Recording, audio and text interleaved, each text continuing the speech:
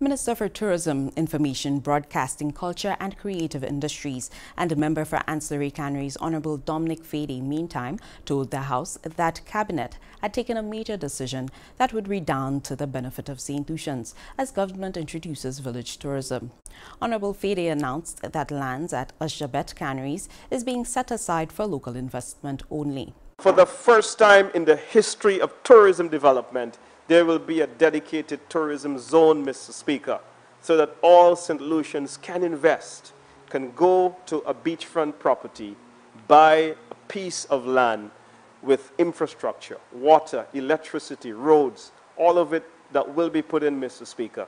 The lands have been vested with Invest St. Lucia, and I look forward, Mr. Speaker, to work with my colleague, the Minister of Investment, so that we can bring, Mr. Speaker, over 500 new St. Lucian businesses into the tourism fray, owning their villas, owning their cottages, owning their bed and breakfast, owning their restaurants, Mr. Speaker.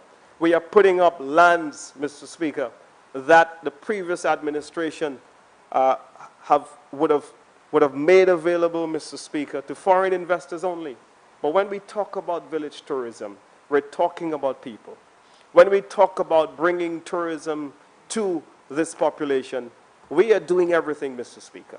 And so the legislation will go a long way to allow them, whether there is one bedroom, two bedroom, or six bedrooms, they will be able to benefit from concessions.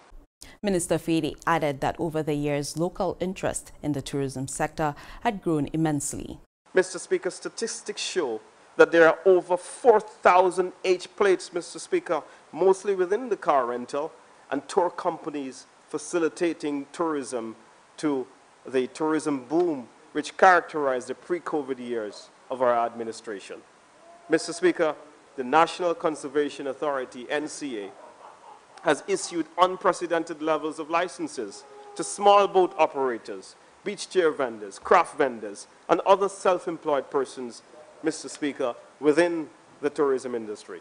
Mr. Speaker, thanks to the hardworking staff at the Ministry of Tourism, there are more St. Lucians today that have received concessions under the Tourism Incentive Act than ever before in the history of this country, Mr. Speaker.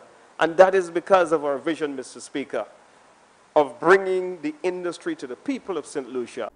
Honorable Dominic Fedee as he contributed to the debate on the 2021-2022 budget.